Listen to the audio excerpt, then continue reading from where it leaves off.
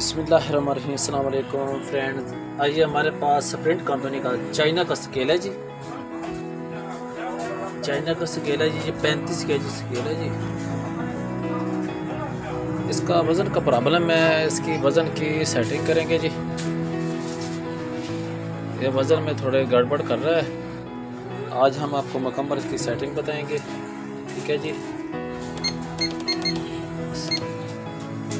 ये देखें। फ्रेंड्स ये 10 केजी का वेट है।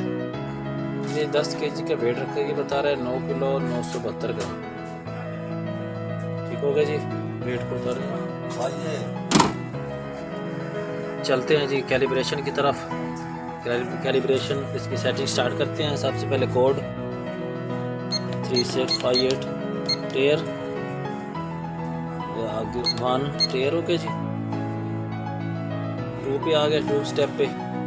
अब ऊपर रखेंगे वेट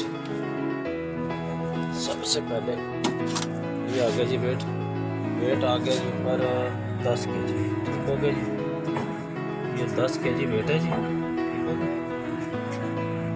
दस के जी वेट रखने के बाद अब इसको करेंगे टेयर अब ये कह रहा है कि जितना ऊपर वज़न है वो लिखना पड़ेगा। वज़न है ऊपर दस के जी दस इशारिया ज़ीरो ज़ीरो ज़ीरो आ गया जी। उसके बाद टेयर टेयर आ गया ये फुल कैपेसिटी पूछ रहा है। फुल कैपेसिटी कितनी रखनी? फुल कैपेसिटी हम रखेंगे इसकी तीस के जी तीस के जी रखेंगे जी इसकी full capacity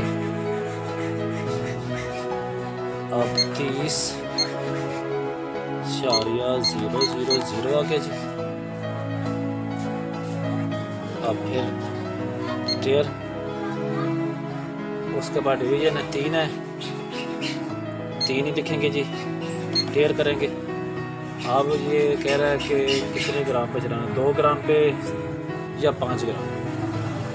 हम इसको करेंगे पाँच ग्राम पे चलाएँगे ठीक लग के कर दें ठीक है, फिर ये देखिए दस के लिए। और दस के लिए मिसाल के तौर पे सौ रुपये रेट लगाते हैं। सौ रुपये रेट लगा जी। आगे देखें, हज़ार रुपये है।